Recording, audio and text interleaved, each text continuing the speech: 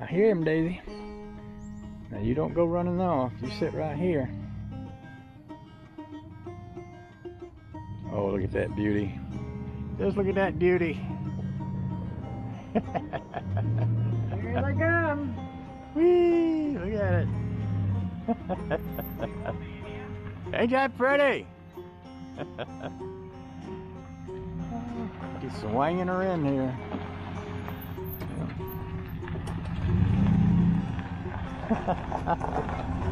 Oh yeah. Look at that. Look at that. hey, Holy moly, what a ride. that's a long ways, ain't it? no idea. I says, I keep telling the guys working, oh yeah, I'm to an ex-truck driver. He says he wouldn't do that trip to save his life. I had no idea what you was talking about. You know, I we do that two or three times a year. You know, you know that's why we're moving down here. We get three hours.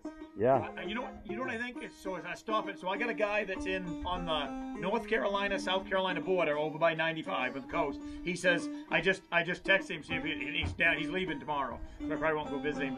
He says 78 dollars to get down here. I'm 375 dollars in fuel.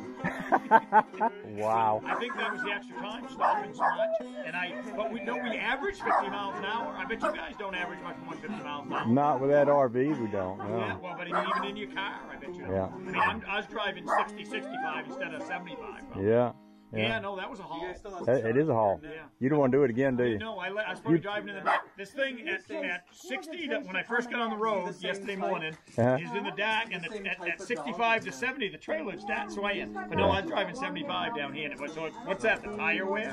What makes the trailer sway? Usually it's because you got too much Too much weight weight toward the back. I put it way back there. I got 300 pounds of tongue weight It, still. really? Yeah, that's why I got as far back. I, just, I had way too much. Huh? But you know it towed fine once it got once it got going. Um, once I got to the to the George Washington Bridge. Yeah. Um, uh, yeah, both of you come and take a picture with Tucker. Lee, Lee wanted me to let him know when I got here.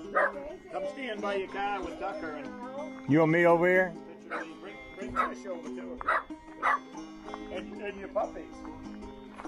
He wants our picture, honey, baby. He wants our picture. Lori wants a picture of Tucker too. She's all worried that we're gonna die on this trip. so. Yeah.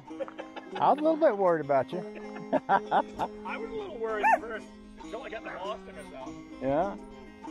Down 95 and it took you 24 hours? Yeah, well, we came. Well, actually, I went to the East Shore, Maryland. I think that might take a little longer. But they said West Shore to East Shore was only like 12 miles different. So, Yeah. but I'll tell you what it was when you go down the East Shore. We were we were three hours in Delaware. I don't know what going down the East Shore. Yeah, Wow. Delaware is like a half hour across if you go to the West Shore. Huh. Yeah, we're three hours in Delaware. New Jersey, we was going across New Jersey was three four hours. I hate New Jersey. Yeah. Go stand, stand next to these guys.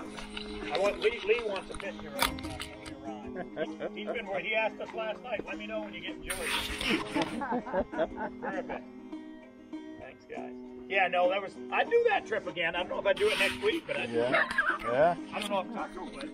He- He says I think the ride home's gonna be long. I said you want to know it.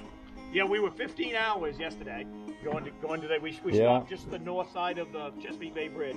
My boss has a boat yard down there, so I, I figured I could park there. Actually, I'm glad I didn't. I was a little stressed last week. I didn't, wasn't really ready.